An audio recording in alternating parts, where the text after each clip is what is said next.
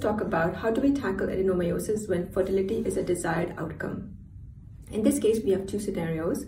One is a focal disease. Think of it as a isolated troublemaker. So they form a focal concentration of the disease and can form adenomyoma.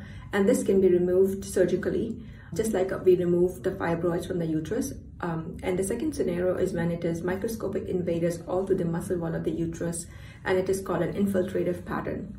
In this scenario, it is trickier because we don't have a set defined disease. So the goal is to debulk the muscle wall of the uterus as much as possible um, with the hope to provide relief in terms of pain and bleeding. In these cases, also some people can achieve pregnancy, about 60% they can achieve pregnancy, but it does have its own implication as scar rupture when, um, which can happen during pregnancy.